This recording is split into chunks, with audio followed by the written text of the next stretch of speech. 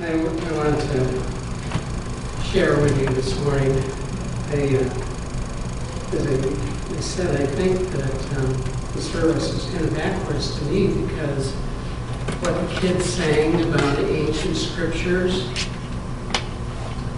and how they change us, I mean, that's what I want to share with you today, is about God's Word. I'm not a preacher or the son of a preacher. I am a child of God and love to read His Word and to study it and study books that uh, that uh, explain different biblical topics. But I believe I was I was going to I lead a men's uh, Bible group and I was going to just take one of the studies that we were doing in uh, Second Corinthians. But God kind of seemed to direct me here to Second Peter. So if you have your Bible, we'll turn to Second Peter, chapter one. Um, but, I, but I'd like to just um, pray with you guys before I start. Father, uh,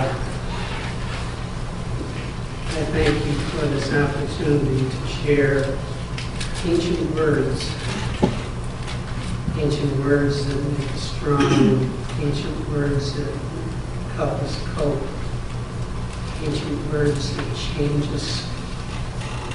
And I pray, Father, that you would use the words that I say to help us to be strong and cope and change. Father, I pray for those that are in this congregation that are really suffering and their need, their family members, we need you. But we know that if we know Christ, that you, the living God, the creator God, the sovereign God, the God of this Bible, is for us. We thank you in Jesus' name. Amen. Now, and I'm sure I went about trying to put together this, this uh, teaching in the wrong way. I got 10 pages, and it's about 20 minutes to, to 12, so I'm not quite sure how this is going to turn out.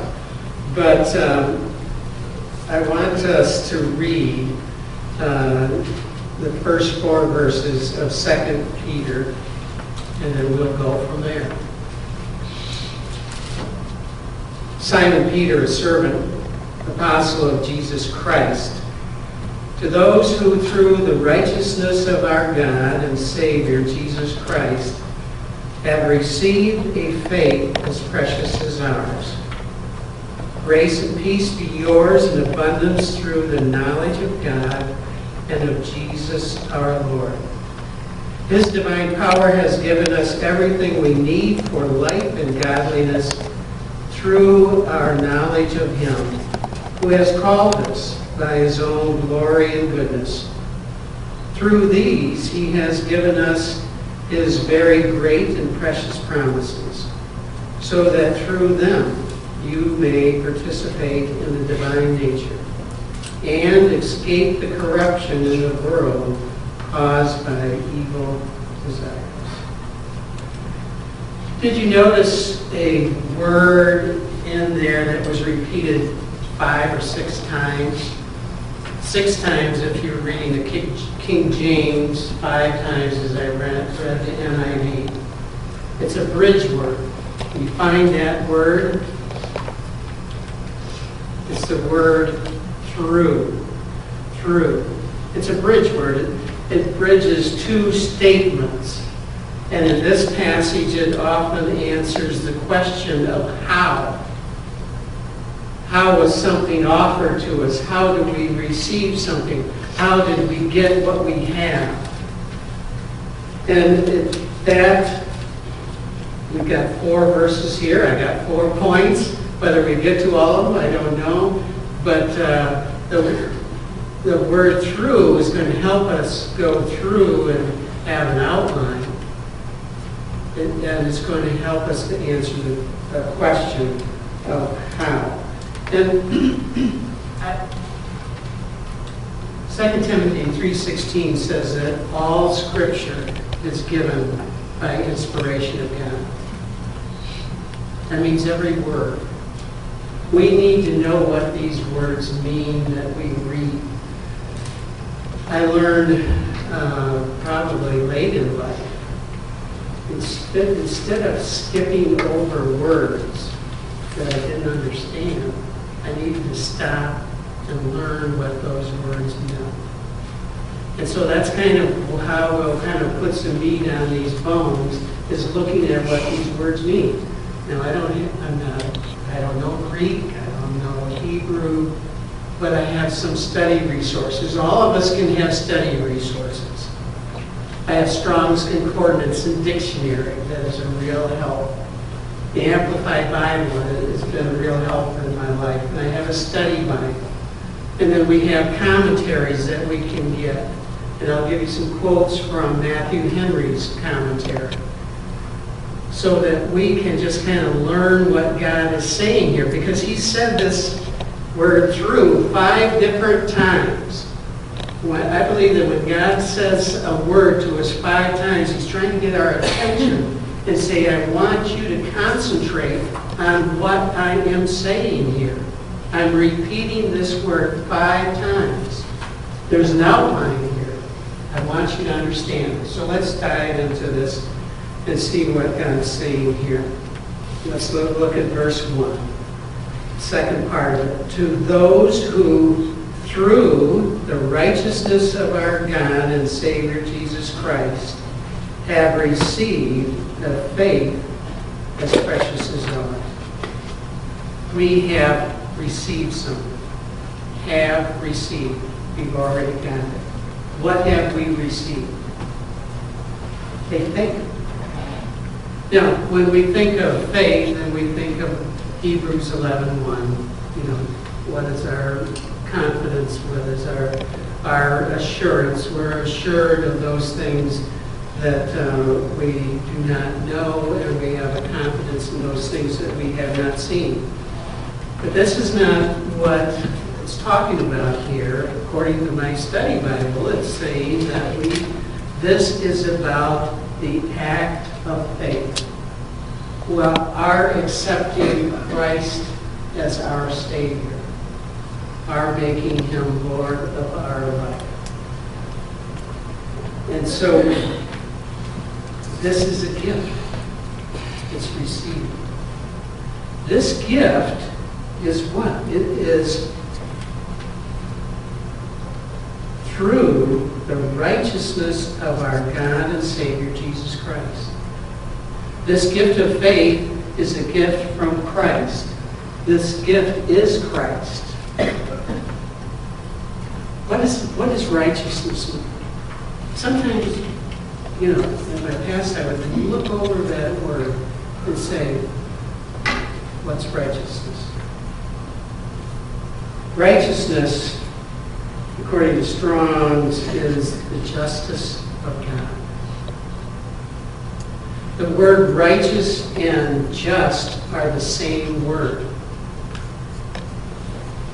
And Strong goes on to say that the equity of his character or acts is his righteousness. It is that attribute which leads him always to do right. Okay, so let's put this together. To do right. Jesus Christ is God. He is Savior.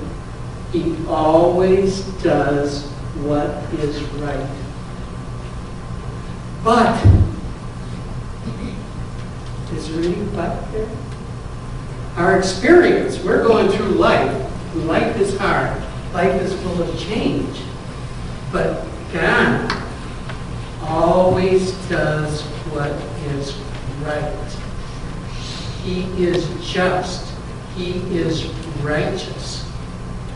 And so, this faith that we have received we received it through the God and Savior Jesus Christ, who always does what is right. Verse 2 Grace and peace be yours in abundance through the knowledge of God and of Jesus our Lord. Grace. What is grace? Grace is God's unmerited favor. We don't, His favor, the favor of an all-powerful God, we do not merit it at all. We don't merit anything. There's an acrostic that says grace, God's riches at Christ's expense. Grace. We live by grace. We grow from grace to grace. Peace. Uh, we know, even, I'm thinking of a, a movie, when you were a beauty contestant and you're asked the question, what do you, what do you want? I want peace for the world. Remember that? But uh, peace, how is that defined? This is from the Amplified Bible.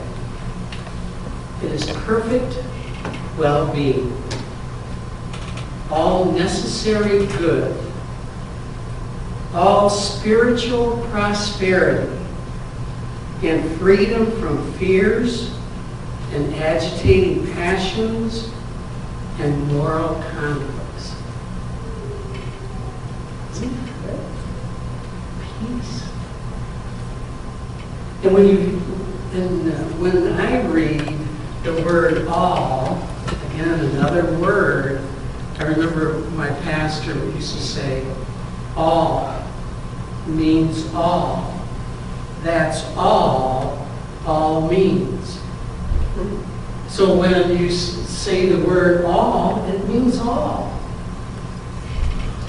So is, is it possible that we can have all spiritual prosperity? all necessary good, perfect well-being.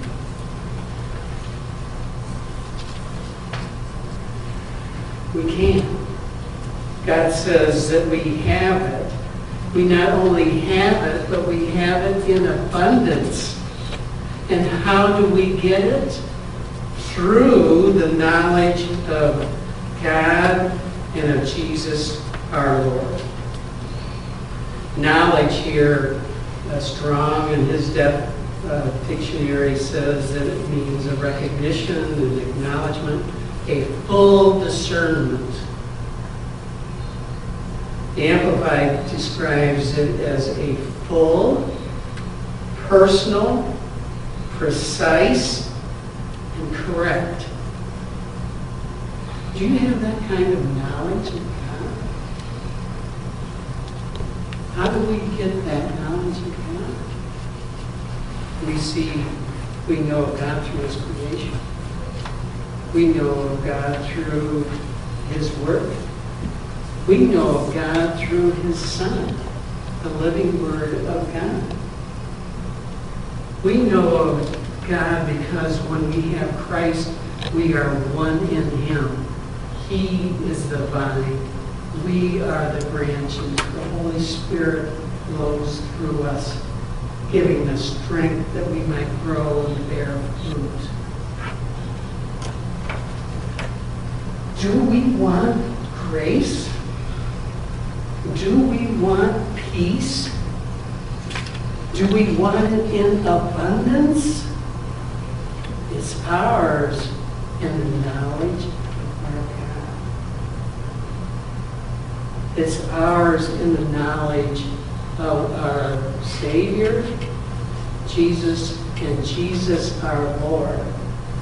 It's interesting, my brother works for Grace to You Ministries out in California. Sent me a book by John MacArthur called Slave.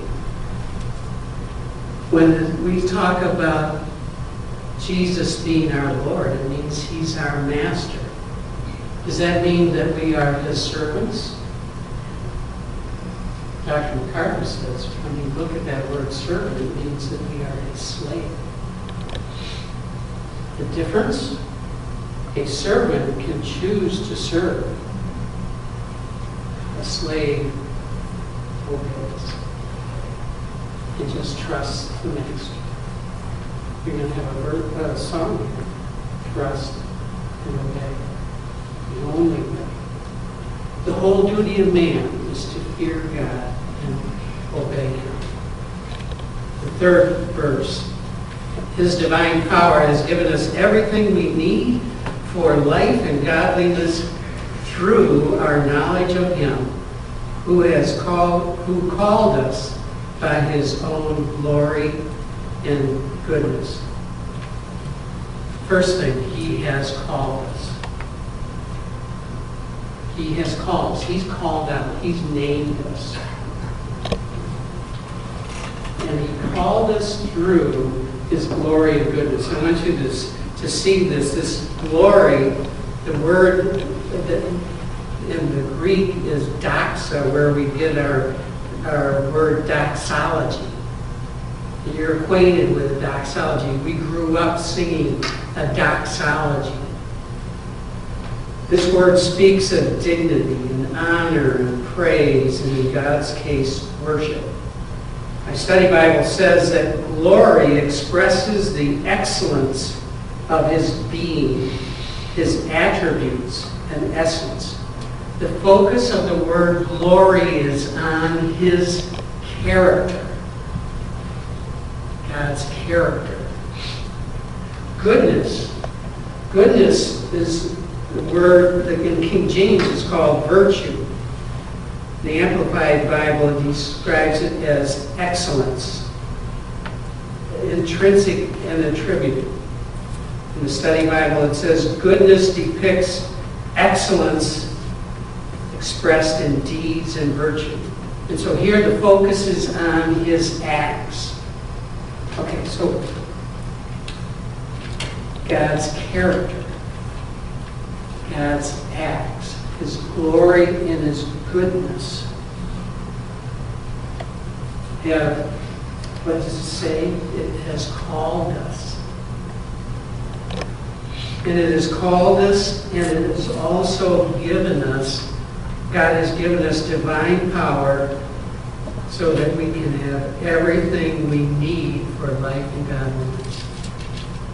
Divine power, the dynamite of God, the miracle of God's power. He has given us this power. He says, given us everything we need for life and godliness. Say, life and godliness, what, what, what what's that about? And, and uh, interestingly enough, when you look for definitions about life, life is life. Life is anything that pertains to it. Can you get the sense of that? The God that we have, His character, His holiness, His righteousness, and His acts, His acts of justice, His acts of giving us salvation, has called us. And through His power, He is giving us everything for life and godliness. Godliness. What is, what does this word godliness mean? It means holiness, devoutness, reverence. Study Bible says that godliness is a genuine reverence toward God that governs one's attitude toward every aspect of our life. Attitude is the mother of our action. He can give us a godly attitude in every aspect of our life. Ancient words that can make us strong, that changes. Verse 4.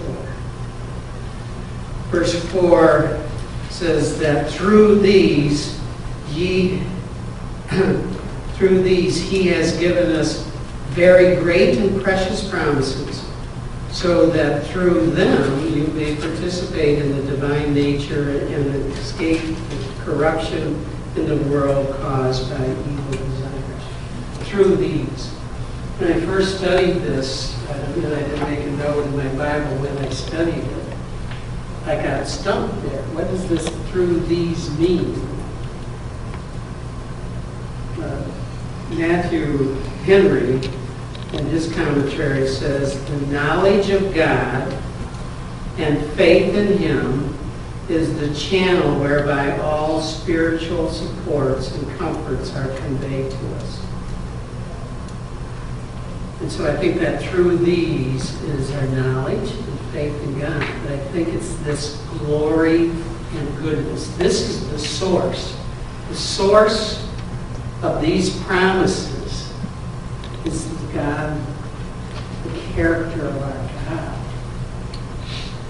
The actions of our God are the source of these promises.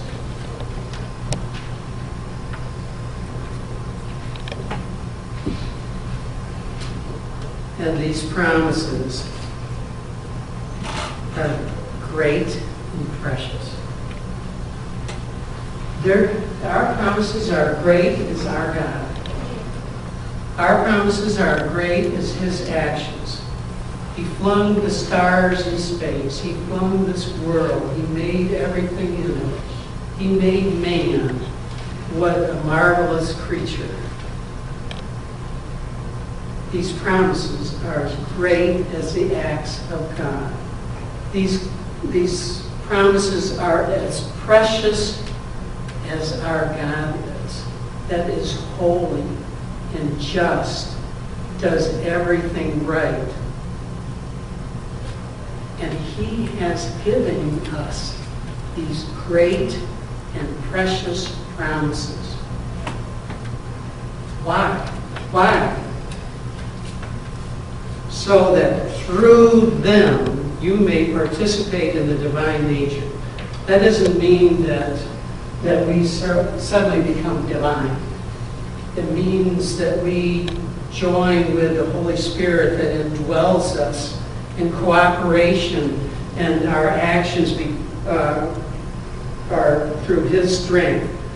The study Bible says that it does not indicate that Christians become divine in any sense, but only that through, only that we are indwelt by God through the Holy Spirit. This word partakers in the, in the King James means K-O-I-N-O-N-O-S, koinos. We know the word koinonia, which means fellowship, communion. It's a sharing together. It's a partnering with. It's an associating with. We are joined together with the Holy Spirit. The Holy Spirit, if we surrender to Him, it's Him, His power that lives through us. Not I, but Christ lives in me in the life of my flesh. Hmm. It is that kind of partnership that we can have. And so we have these promises to aid us in that partnership with letting the Holy Spirit flow through us. And also these promises help us to escape the corruption that's in the world caused by, or in the King James, through lust, or caused by evil desires. This word escape means that we can flee from. It doesn't mean it's eradicated. It doesn't mean it's done away with. But we can escape the corruption that's in the world. What has corrupted our world? Evil desires or lusts. But isn't it amazing God has given us these ancient words? They can make us strong. They can allow us to cope. But they're there so that we will change. Don't go away this morning without being changed. Go home, and mull this over. I've got precious promises of God. I've got faith that is precious. I can have grace and peace in abundance because I have a God of this character and a God who acts right all the time.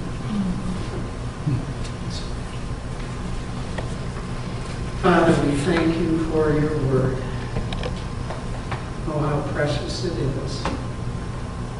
We're just people.